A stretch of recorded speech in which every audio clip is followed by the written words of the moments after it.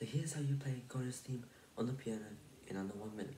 So it first starts off with F sharp, D, D, E, F, E, D, C sharp, D, E, F sharp, B, and an octave lower, B, C sharp, D, E, D, C sharp, A, G, and then you just play that on repeat. If you guys want to learn Giorno's theme with Latan as well, subscribe to my YouTube channel.